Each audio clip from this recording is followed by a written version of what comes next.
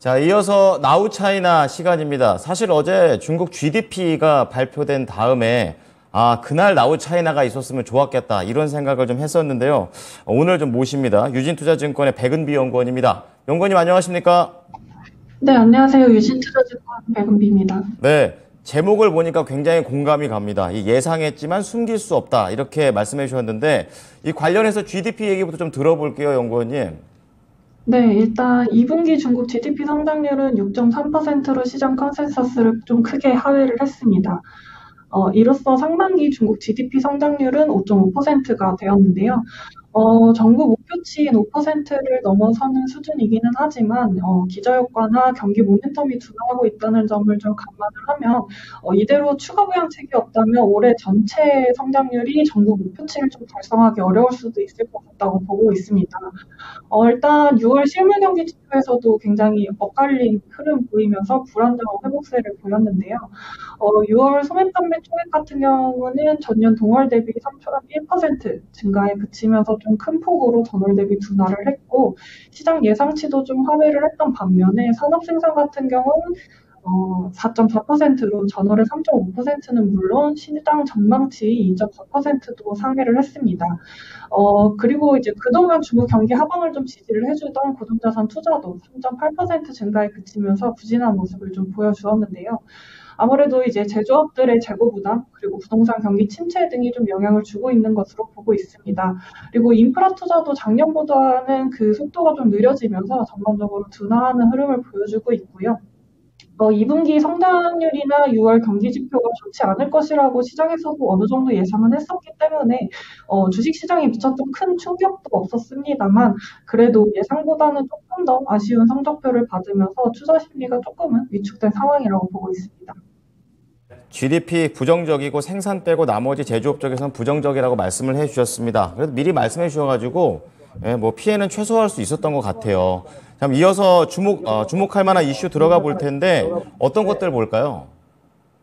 네, 일단 첫 번째로는 이제 정치국 회의가 있고요. 어, 우리나라 코스피 같은 경우는 중국과의 경제 성장률과의 상관관계가 0.71로 상당히 높기 때문에 중국 경기를 좀 주목해서 볼 수밖에 없는 상황입니다. 어제도 중국 GDP 성장률이 기대에 미치지 못하면서 중국 어, 국내 증시에도 좀 실망 매물이 나오면서 약세를 보인 바 있는데 요. 그래서 이 월말에 열리는 정치국 회의를 좀 더 주의 깊게 볼 필요가 있는 것 같습니다. 어, 정치국 회의 같은 경우는 사실 매월 열리는 회의입니다만 매년 4월과 7월 그리고 12월 정치국 회의가 굉장히 중요한 회의로 손꼽히는데요. 어, 7월 정치국 회의 같은 경우는 이제 상반기 경기를 토대로 하반기 정책을 조정하는 시간을 갖기 때문에 그 중요성이 좀 더 높게 평가가 되고 있는 상황입니다. 특히 올해 같은 경우는 상반기에 이제 중국의 내수 부진이 이어지고 있기 때문에 이 정치국 회의에서 추가 부양책 이 나올 것이란 기대감이 있는 상황이고요. 물론 제가 이전에도 말씀드린 것처럼 중국이 과거처럼 대규모 부양책을 낼 가능성은 낮습니다.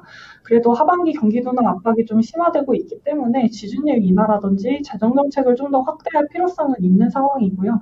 특히 리창 국무원 총리도 최근에 이제 경제학자들이나 민간 기업과 소통하는 시간을 가지면서 이 거시경 정책을 조정하는 것에 대한 의지를 거듭 보여주었기 때문에 어, 이 7월 정치국 회의에서 발표되는 부양책들을 좀 주목해서 보시면 좋을 것 같습니다. 그리고 두 번째 같은 경우는 다시 한번 내린 폭염주의보인데요. 어, 중국이 이제 지난주에 남부 지역에 이어서 이번에는 북부 지역에 폭염 경보가 좀 발령이 된 상황입니다.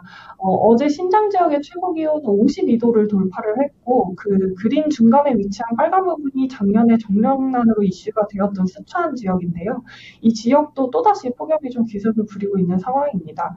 어, 이 스촨 지역의 경우에는 특히 수력 발전 위주로 돌아가고 있기 때문에 이렇게 고온이 지속이 되고 비가 오지 않는 날씨가 지속이 되면 전력 공급이 또다시 영향을 받을 가능성이.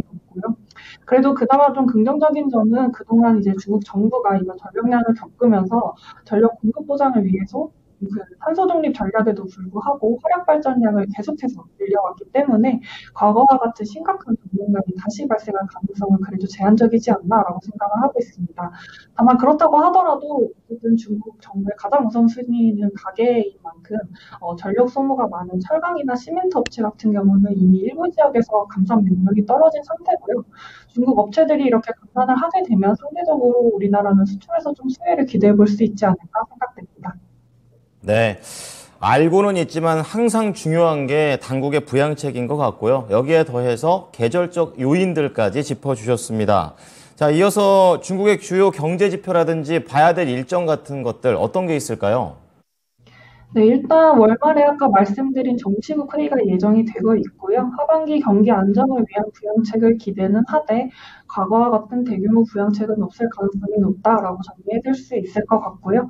31일 날은 이제 제조업 PMI가 발표가 되는데요. 어, 지난달에 발표된 PMI는 49로 기준선 하회를 하면서 이제 경기 위축 국면에서 머물렀습니다. 그래도 전월 대비로는 어쨌든 소폭 개선되는 모습을 보여주었고 금리 인하 등의 조치가 진행되었기 때문에 이 전월 대비 개선세가 지속될지 좀 관심 있게 지켜봐 주시면 좋을 것 같습니다. 잘 지켜보겠습니다. 고맙습니다, 연구원님. 네, 감사합니다. 네, 오늘 나우 차이나는 유진투자증권의 백은비 연구원의 분석을 들어보셨습니다.